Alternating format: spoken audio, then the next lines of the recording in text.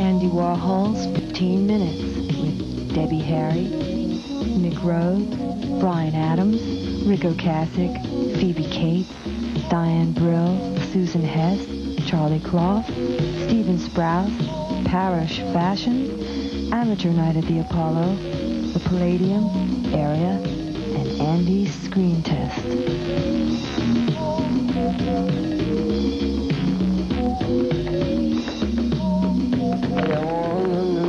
Outfit?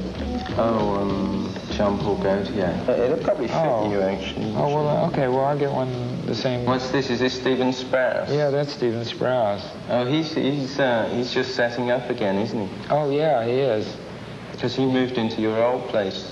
Uh, right? Yeah. And now he's moved out and he's But starting he's, again. yeah, but he's going to try to move back in again. Yeah. Yeah.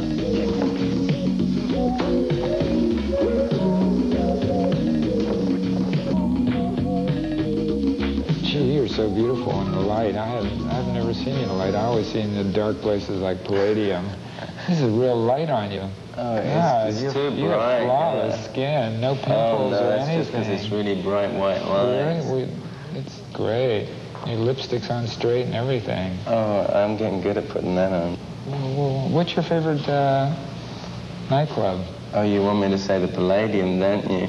No, no, we, no, I, we don't have to say the Palladium. Uh, Um, uh, it is actually the Palladium here. I think that uh, Steve Rubell's done a great job to sort of pull it all together. And I like, I like that area upstairs, the, the Michael Todd room, what they call it. Why do they call it the Michael Todd room? uh, I think he used to live there.